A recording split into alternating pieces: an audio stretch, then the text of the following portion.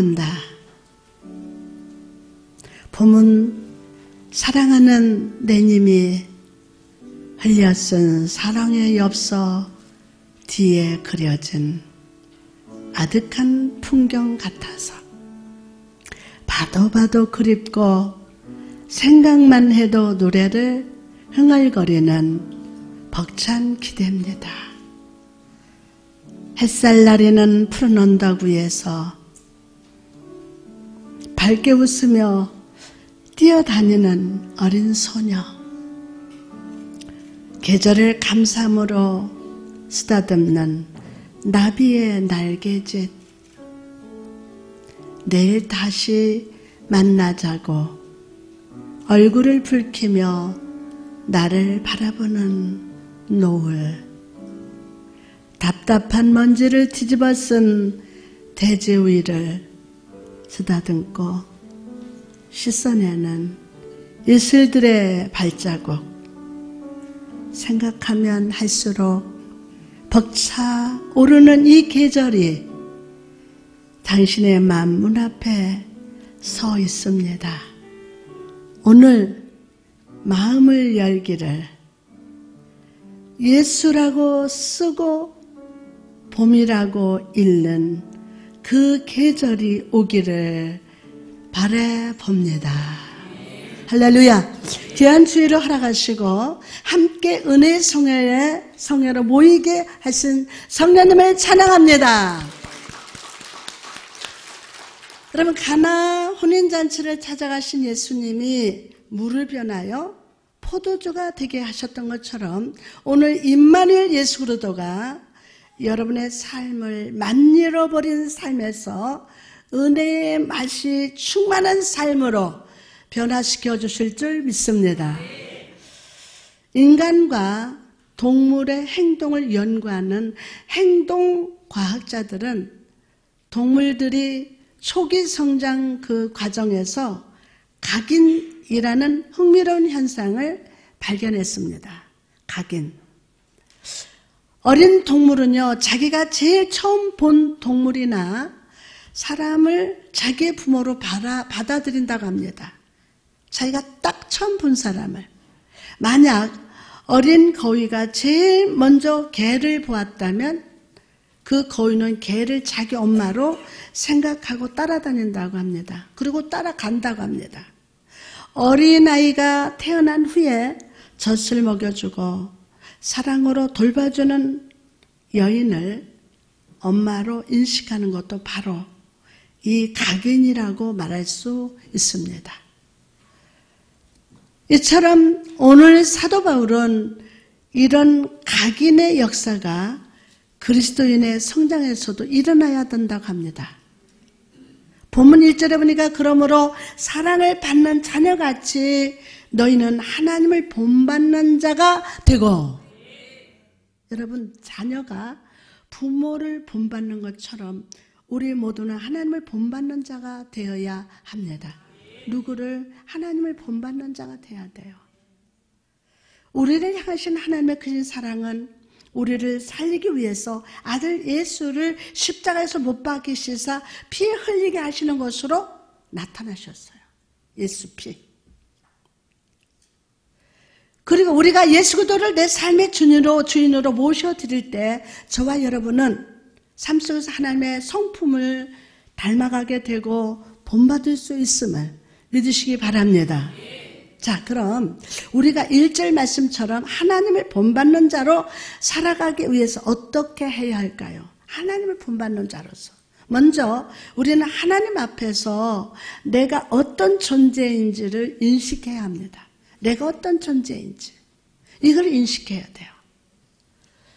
여러분, 하나님 백성의 삶은 우리가 우리 것이 아니며 내가 내 것이 아니고 오직 하나님의 것임을 진실로 인식하고 고백하면서 시작됨을 아십니까? 내가 내 것이 아니고 오직 하나님의 것임을 진실로 인식하고 고백하는 거예요. 여기서부터 시작이 되는 거예요. 그럼 우리가 하나님의 것이라고 하는 이유가 무엇입니까? 내가 하나님 것이다. 그 이유가 무엇입니까? 이사야 43장 1절 말씀을 보니까 야곱아 너를 창조하신 여호와께서 지금 말씀하시느니라 이스라엘아 너를 지으신 이가 말씀하셨느니라 너는 두려워하지 말라 내가 너를 어떻게 구속하였고 내가 너를 지명하여 불렀나니 너는 내 것이라 다 같이 너는 내 것이라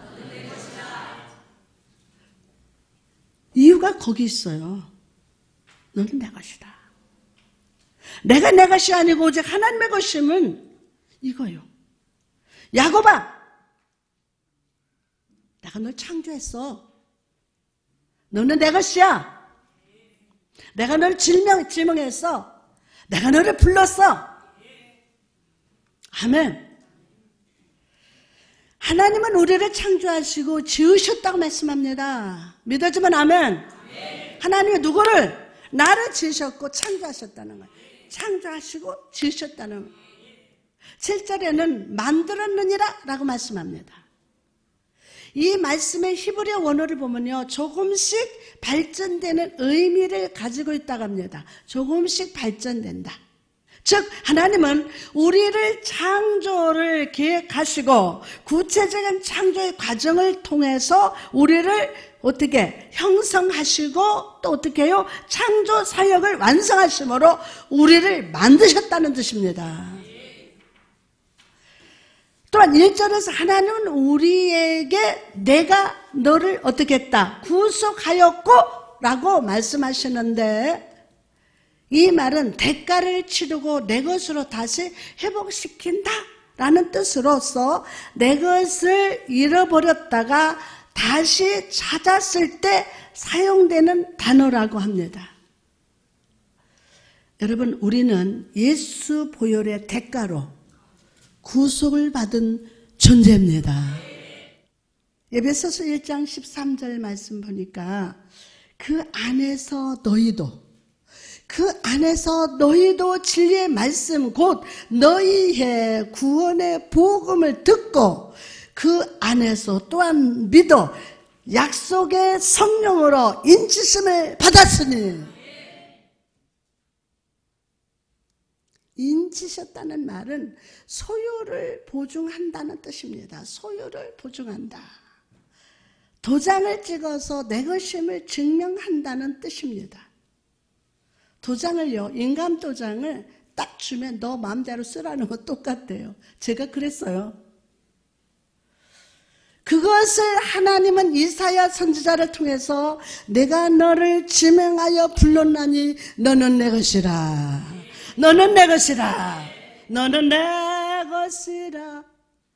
내 것이라. 너는 내 것이라. 라고 말씀하십니다. 여러분, 여러분은 하나님의 것입니다. 시작 나는 하나님의 것입니다. 두 사람이 안에서 다시 한번 나는 하나님의 것입니다. 정말 믿습니까? 나는 하나님의 것입니다. 하나님 것이기 때문에 하나님은 어떤 상황과 환경 속에서도 포기하지 않으십니다. 절대로 여러분 하나님 포기하지 않아요.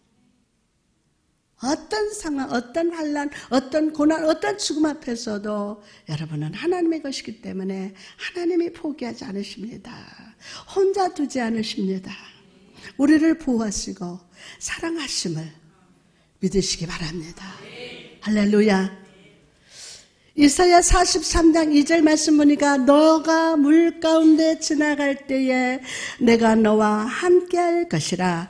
강을 건널 때에 물이 너를 침몰하지 못할 것이며 내가 불 가운데 지날 때에 타지도 아니할 것이요. 불꽃이 너를 사르지도 못하리니 사랑하는 성도 여러분 오늘 내가 하나님의 손으로 지음받은 존재임을 다시 한번 인식합시다. 성령으로 인치심을 받고 하나님의 사랑 안에 보호받고 있는 존재입니다. 하나님의 사랑을 받는 존재예요. 이 존재에 대한 인식이 분명할 때 우리는 아버지 되신 하나님을 본받는 자리까지 나갈 수 있습니다. 이걸 인식할 때 나는 나는 하나님의 사랑받는 존재다. 이 존재 인식 무슨 인식? 존재에 대한 인식이 분명할 때 우리는 아버지신 하나님을 본받는 자리까지 나갈 수 있다. 아멘요. 두 번째로 하나님을 본받는 자로 살아가기 위해서는 내려놓을 것을 내려놓고 하나님을 붙들어야 돼요. 저도 이제 인생 후반전을 지나가고 있습니다. 이 세월을 살아오면서 깨닫는 것이 있다면 인생은 붙잡음과 내려놓음의 연속이라는 겁니다. 붙잡음과 내려놓음. 이것을 깨달아요. 그리고 붙잡을 것을 붙잡고 내려놓을 것을 과감히 내려놓는 것이 인생에 반드시 필요한 지혜를 깨달았습니다. 내려놓고 내려놓고 붙잡을 것을 붙잡는 것. 이것이 인생에서 반드시 필요한 거예요. 이게 지혜입니다. 오늘 이 지혜 받으시기를 주님의 이름으로 축복합니다. 우리는 소중한 것을 붙잡을 때가 붙잡을 때 감사합니다. 아주 소중한 것을 딱 붙잡을 때 감사합니다.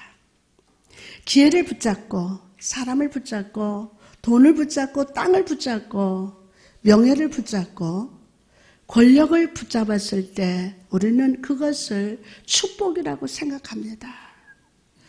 그런데 한번 돌아보시기 바랍니다. 내가 그렇게 붙잡고 싶던 것을 붙들었지만 오히려 그것 때문에 더 힘들고 고통스러울 때가 많지 않았습니까? 즉 나를 행복하게 만들어줄 것으로 믿었던 그것이 오히려 나를 종으로 만들었다는 것입니다. 엄청난 100억짜리 땅을 준다 해도 내가 이거를 잘 분별해 봐야 돼요. 이거를 내가 붙잡고 내가 종이 되면 과감하게 포기해야 돼요. 아멘? 저 사람이 나를 참 잘해주지만 이 사람과의 관계에서 내가 저 사람의 종이 된다면 이건 붙잡을 수 없는 거예요. 나는 하나님의 사랑받는 존귀한 자란 말입니다. 어떤 누구의 종이 되면 안 돼요. 어떤 물건의 종이 되면 안 돼요. 믿습니까? 할렐루야. 에? 즉 나를 행복하게 만들어줄 것으로 믿었던 그것을 오히려 종으로 만들어 버렸다는 것입니다. 아프리카에서 원숭이를 잡을 때 여러분들 아시죠? 사냥꾼은 망태 속에 사과를 담아두고 망태 이렇게 망태 이게 얼굴 얼굴 이게 망태 있어요. 충청도하면 그게 많은데 그 망태 속에다가 사과를 빨간 사과를 딱 담아두고 끈으로 매달아 둔다고 합니다. 이렇게. 그러면 원숭이가 다가와서 사과를 손으로 꼭 그 망태 속에 얼굴에다 똥 손으로 꼭 짚는데 사과를 꺼내려고 하면 구멍이 너무 작아서 빼낼 수가 없다고 합니다. 집어는 넣는데 사과를 잡았잖아요. 근데 이걸 뺄 수가 없어. 그러다가 사냥꾼이 코앞에 왔는데도 그 사과를 놓지 못하다가 사로잡힌다 합니다. 원숭이 잡는 그렇게 한대요. 여러분 이처럼 붙잡는 것보다 더 힘든 것이 놓아버리는 거예요. 붙잡는 것보다 힘든 게 놓아버리는 거예요. 원숭이는 사과를 거기다 놓으면 손 딱 빼면 안 잡히는데 사냥꾼이 와서 잡을 때까지 이걸 안 놔. 이거 안 놓는다고. 그러니까 붙잡는 것보다 놓는 게 더 힘들죠. 여러분, 하나님을 믿는다는 것은 지속적으로 놓아버리는 삶을 사는 것을 의미합니다. 놓아버리는 것. 붙잡지 말할 것들을 끊임없이 놓아버리는 거예요. 이거 붙잡으면 안 될 거를 알면서도 놓지 못하는 거예요. 오늘 하나님의 보혈의 피가 놓을 수 있도록 복음의 능력으로 역사하실 걸 믿어주면 아멘. 그래야 사롭게 될 수 있고 더욱 성숙할 수 있는 믿음을 갖게 됩니다. 하나님의 아브라함을 처음 만났을 때 원하셨던 것은 그가 붙잡았던 이전 것들을 놓아버리는 거예요. 이전 것들을 놓아버리는 거. 아브라함은 하나님이 지시하신 새로운 땅을 향해서 나가기 위해서 갈대아 우르를 놓아버려야 했어요. 왜 그랬습니까? 그가 믿음의 조상이 되기 위해서는 우상숭배라는 이전의 자아를 놓아야 하기 때문이에요. 이전에 뭐를? 자아를 놓아야 돼요. 놓아야 돼요. 우리 아멘 합시다. 놓아야 돼요. 또한 하나님께서는 아브라함에게 아들을 주겠다고 약속을 하셨습니다. 그러나 하나님은 그 약속을 속히 이루어주지 않으셨어요. 약속을 하셨는데. 그러자 하나님의 약속을 내려놓고 세상 것들을 붙들기 시작했어요. 여러분 우리 성도들도 하나님의 대언을 주시고 말씀을 주시고 예언을 주시면 그 자리에서 금방 오늘 내일 열흘 안에 한 달 안에 다 이루어질 걸 믿어요. 아니에요. 여러분이 끝까지 그 약속을 붙잡는 거. 그런데 하나님의 약속은 내려놓고 세상 것들을 붙들기 시작해요. 아브라함이 그랬어요. 처음에는 조카 롯을 붙들다가 롯이 떠났을 때 그의 종 엘리에셀을 붙들고 그러다가 하가를 통해서 낳은 이스마엘을 붙들었어요. 그러다 그는 하나님의 약속의 아들 이삭을 붙들었습니다.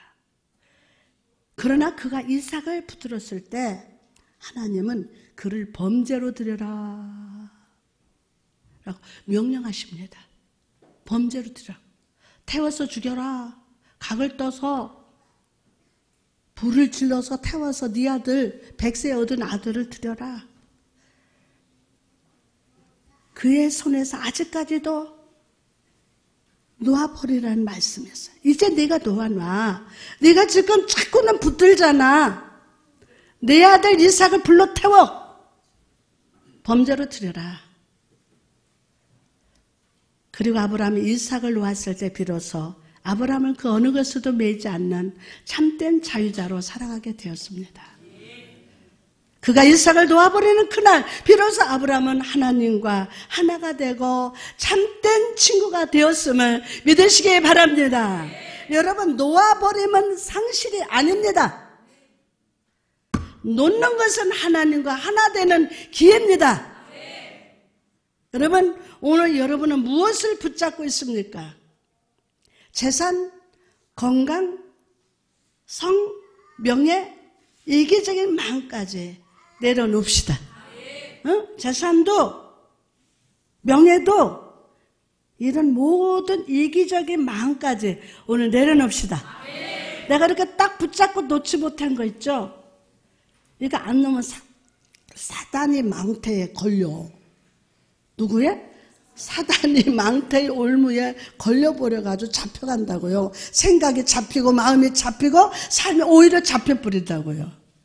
놀 것도 해야지. 우리가 집착하는 그것을 놓아 버릴 때 저와 여러분은 하나님 안에서 안식할 수 있습니다. 외적인 것들을 놓아버릴 때 우리는 영적인 은혜와 축복의 가치를 잡을 수 있음을 믿으시기 바랍니다. 물질적인 부여에 대한 집착을 내려놓을 때 그때 저와 여러분은 하나님의 예비하신 영적인 풍요를 맛볼 수 있습니다. 여러분 수판을 계산해보니 이게 되지도 않는 거야. 내가 어떻게 살아가지 빚은 얼마고 연행 빚은 얼마고 그 이게 돈은 없고 직장은 없고 이거 어떡하지? 그래서 거기에 잡혀버리면은 하나님 하실 일을 못해. 오늘 놉시다. 걱정한다고 그것을 잡았다고 해결되는 게 아니잖아요. 해결, 나를 사랑하는 하나님의 나를 구원하시고 보혈피를 만들으셔서 내 속에 하나님의 생명이 있다. 그분이 나를 창조하셨다. 그거를 인식하면서 오늘 붙잡은 것을 내려놓을저다. 이거예요. 그러므로 여러분 내려놓, 내려놓는 지혜를 구합시다. 아멘. 돌이킬 수 없는 과거를 오늘 놓아버립시다. 뭐를? 돌이킬 수 없는 과거로 오늘 내려놓자고요. 이거 찾고 있지 말고 오늘 과거를 놓아버립시다. 붙잡아서는 안 될 것들을 오늘 놓아버립시다. 아멘. 그럴 때 참된 자유를 맛보게 될 겁니다. 큰 은혜를 맛보게 될 겁니다. 하나님을 만나게 될 줄 믿습니다. 나를 사랑하시는 하나님과 매일 교제하면서 날마다 주님을 알아가고 본받고 주님의 기쁨이 되는 삶을 살아가게 될 것임을 믿으시기 바랍니다. 1절에서 하나님을 본받는 자가 되라고 권고했던 바울은 이제 그리스도인이 된 우리가 반드시 피하고 멀리 해야 할 것에 대해서 말씀합니다. 본문 3절 음행과 온갖 더러운 것과 탐욕은 너희 중에서 그 이름조차도 부르지 말라. 이는 성도에게 마땅한 바니라. 앞장인 사정에서 바울은 우리의 언어와 개인적인 악에 대해서 말씀했다면 이제 바울은 예배소서 5장에서 교회 안에서 합당하지 못한 행동들에 대해서 말씀합니다. 바울은 특히 음행과 온갖 더러운 것, 탐욕을 멀리 하라고 경고합니다. 음행이란 헬라어로 포르네이아라고 하는데 온갖 종류의 성적인 타락을 의미합니다. 또한 더러운 것은 아카다루시아라고 하는데 잘못된 욕구를 어떻게든지 충족시키려는 생활 방식을 의미합니다. 또한 탐욕이라는 말은 어떤 것에 대한 지나친 욕망을 의미하는데 그것을 얻기 위해서라면 모든 것을 희생할 만큼 강한 욕구를 의미합니다. 여러분, 교회 안에서는 이런 죄들이 이름이라도 발견돼서는 안 됨을, 안 됨을 잊지 마시기 바랍니다. 아멘. 이것은 바로 성도의 마땅히 행할 것이기 때문입니다. 아멘. 하나님의 백성된 우리는 자기의 이름을 드러내는 자가 아닙니다. 나의 정력과 욕망과 욕구를 충족시키려고 살아가는 존재가 절대로 아닙니다. 우리는 삶으로 하나님의 사랑, 하나님의 은혜, 하나님의 거룩한 하나님의 거룩하심을 드러내야 함을 믿으시기 바랍니다. 하나님의 거룩하심. 물론 저는 우리 교회 안에 이런 음행이나 더러운 것 탐욕을 추구하는 사람은 없다고 믿습니다. 그러나 우리가 아무리 신앙생활을 오래 하고 직분자라 해도 이 죄를 지을 만한 경향성이 존재함을 분명히 기억하시기 바랍니다. 그러면 이런 의미에서 우리는 교회가 무엇인지를 다시 한번 생각해 봐야 돼요. 교회가 무엇인가? 여러분 교회가 무엇입니까? 교회. 교회는 에클레시아, 즉 밖으로 불러낸 모임이라는 뜻입니다. 다시 말해서 제약 세상에서 불러 모아진 성별된 자들의 모임이 바로 교회입니다. 그러면 우리는 그 무엇보다 그 구별됨을 거룩하게 지키는 지혜가 필요함을 믿으시기 바랍니다. 구별됨의 지혜. 아멘. 구별됨의 지혜. 마땅히 나눠야 할 것을 나누고 마땅히 연합해야 할 것을 연합하는 것은 지혜가 할 일입니다. 오늘 지혜 받으시기를, 분별력 받으시기를 주님의 이름으로 축복합니다. 할렐루야. 서로 하나 되지 못하는 것을 합치는 것은 선한 것이 못되고 또 마땅히 하나 되어야 할 것을 임으로 나누는 것도 하나님 앞에 기쁨이 되지 못하기 때문입니다. 예? 대초에 하나님이 천지를 지으실 때를 한번 떠올려 보십시오. 하나님께는 빛과 어둠을 나누셨어요. 이 나눔은 그분이 자연의 영역과 은혜의 영역에서 어떻게 행하실지를 보여줍니다. 보여줘요. 빛과 어둠은 함께 할 수 없습니다. 동일한 장소에서 동시에 빛과 어둠을 가지는 것은 불가능합니다. 오늘날 이 세상은 뚜렷한 분리를 찾아보기 힘듭니다. 알곡의 잡초와 함께 자라고 있고 양과 염소가 공존하고 있습니다. 여러분 이런 시대에 살고 있는 여러분이요. 오늘 말씀 받으면서 성령의 지혜와 분별력이 여러분에게 생명으로 임할 걸 믿으시면 하면 그러면 의인의 농장과 불의한 자의 농장이 함께 있고 교회 옆에 술집 건물이 함께 있는 것이 현실이에요. 현실이에요. 어떻게 되는 줄 알아요? 이것은 반드시 고쳐야 할 사람이 있는데 그거에 대해서 반응을 보이면요. 옆에 의인들도 팍 그래. 왜? 분별이 없으니까. 지가 다 아는 것처럼. 그 말이 진실인 것처럼. 그러나 하나님께서 심판하시는 그날 양과 염소는 나눌 겁니다. 반드시 나눌 겁니다. 모든 만물은 그 종류대로 모일 것입니다. 잡초는 잡초끼리 무화 불 속에 던져질 것이고 모든 흐릿함이 안개 거치듯 사라지고 하나님 앞에서 선한 것들이 뚜렷이 드러나게 됩니다. 뚜렷하게, 분명하게, 정확하게. 여러분, 사람은 속여도 괜찮아요. 목사님 얼마든지 속여도 하나님은 속이지 못해요. 그럼 그날에 오기까지 성도된 우리가 항상 잊지 말고 생각할 것이 무엇일까요? 바로 우리가 무엇과 연합하고 무엇과 분리되어야 하는 것입니다. 무엇과 연합하고 무엇과 분리되어야 합니다. 여러분, 성령의 인치심을 받고 성령의 조명 안에 있는 교회는 세상과 혼합되지 않습니다. 혼합되지 않아요. 와, 성도들 모으려고 교회에다가 담배 피는 그것도 해놓고 청년들을 들고 가서 맥주 먹고 청년들 부흥시키려고 그건 아니에요. 그건 아니에요.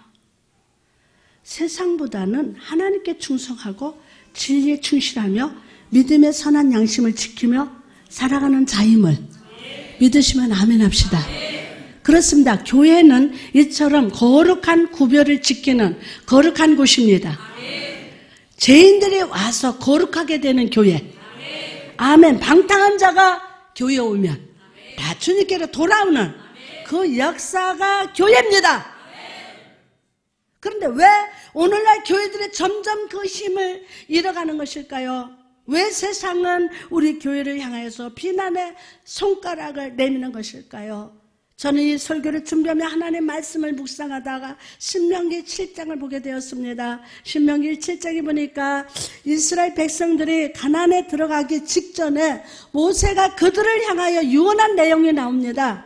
신명기 7장 1절 2절에 내 하나님 여호와께서 너를 인도하서 너가 가서 차지할 땅으로 들이시고 내 앞에서 여러 민족 헷 족속과 기리스 기르가스 족속과 아모리 족속과 가난 족속과 브리스 족속과 히위 족속과 여부스 족속 곧 너보다 많고 힘이 센 일곱 족속을 쫓아내실 때에 내 하나님 여호와께서 그들을 내게 넘겨 내게 치게 하리니 그때 너는 그들을 진멸할 것이라 그들과 어떤 언약도 하지 말 것이요. 그들을 불쌍히 여기지도 말 것이며 모세는 백성들이 가난에 들어가면 그곳에 거주하는 일곱 족속을 반드시 진멸하라고 명령했어요. 아이, 놔두면 다 돌이킬 텐데. 진멸 소멸하라는 말은 남녀, 노소, 어린아이도 모두 죽이라는 거예요. 물론 이런 하나님 명령은 윤리적인 면에서 굉장히 잔인하게 보입니다. 그러나 영적으로 바라볼 때 이 명령은 하나님께서 가난한 사람들의 생활 풍습이나 종교를 따르지 말고 그들을 흉내내서도 안 된다는 것을 강조하고 계심을 믿으시기 바랍니다. 강조하는 거예요. 강조. 그런데 이스라엘 백성들은 그 명령에 어떻게 반응했을까요? 우리 사사기 2장 11절 15절 찾아봅시다. 사사기 2장 11절 15절 다 찾으셨으면 아멘. 우리 같이 봉독합니다. 시작.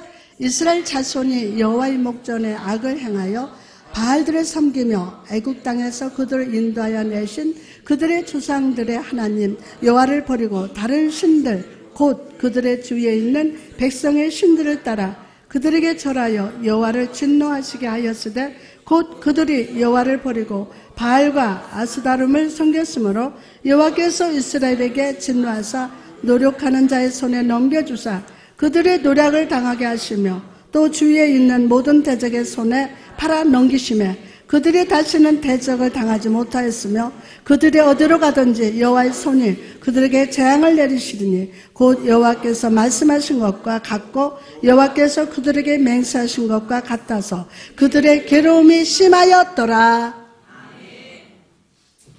이스라엘 백성들은 하나님의 명령을 따르지 않았습니다. 오히려 그들의 섬기는 우상을 그대로 받아들였습니다. 그 결과 이스라엘 백성들은 이방인의 압제 가운데서 고통을 겪게 되었습니다. 구별된 삶을 살지 못하고 버려야 것을 붙잡았던 결과입니다. 여러분, 오늘 여러분의 삶은 어떻습니까?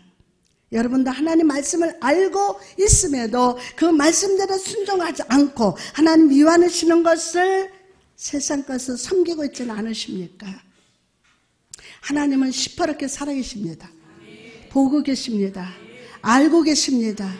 말하게 하십니다.